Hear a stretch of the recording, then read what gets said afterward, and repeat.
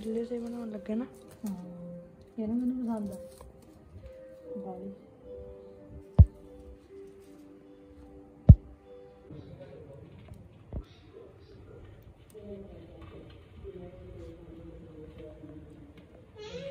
ਆ ਕੀ ਬੰਦਾ ਨਹੀਂ। ਬੋਲੀ ਬੰਦੀ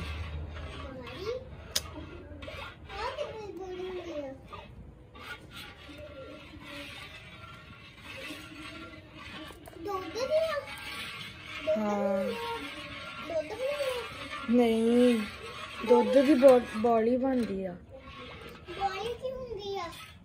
ਜਦੋਂ ਬਣ ਜੂਗੀ ਨਾ ਫਿਰ ਦਿਖਾਵਾਂਗੇ। ਐਤਕੀ ਤਾਂ ਆਪਾਂ ਥੋੜੀ ਜਿਹੀ ਬਣਾਉਣ ਲੱਗੇ ਨਹੀਂ ਤਾਂ ਅੱਗੇ ਜ਼ਿਆਦਾ ਬਣਾਉਂਦੇ ਪਰ ਕੋਈ ਖਾਂਦਾ ਤਾਂ ਹੈ ਨਹੀਂ। ਬਸ ਹੁਣ ਪਾਣੀ ਸਾਰਾ ਸੋਸ ਹੋ ਜਾਣਾ ਤੇ ਬਣ ਜਾਣੇ ਸਾਰੇ।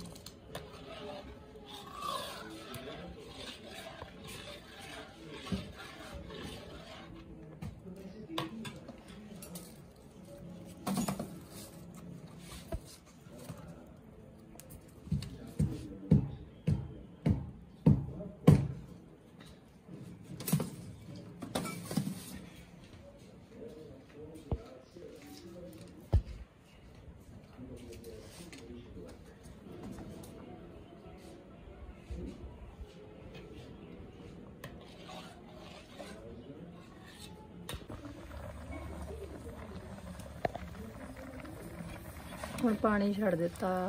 ਜਦੋਂ ਇਹ ਸਾਰਾ ਪਾਣੀ ਸੋਸ ਹੋ ਗਿਆ, ਫਿਰ ਸੁੱਕੀ ਬੋਲੀ ਬਣ ਜਾਣੀ ਹੈ। ਚੁੱਲ੍ਹੇ ਤੇ ਮੱਠੀ ਮੱਠੀ ਅੱਗ ਤੇ।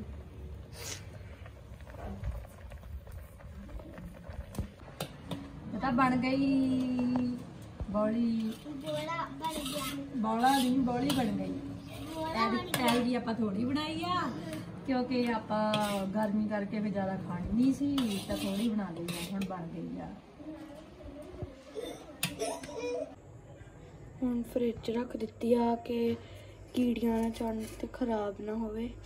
ਬਹੁਤ ਟੇਸਟੀ ਲੱਗਦੀ ਪਈ ਆ। ਤੁਹਾਡੀ ਤੁਹਾਡੀ ਵੀ ਫੇਵਰੇਟ ਆ, ਤਾਂ ਤੁਸੀਂ ਕਮੈਂਟ 'ਚ ਜ਼ਰੂਰ ਦੱਸਿਓ।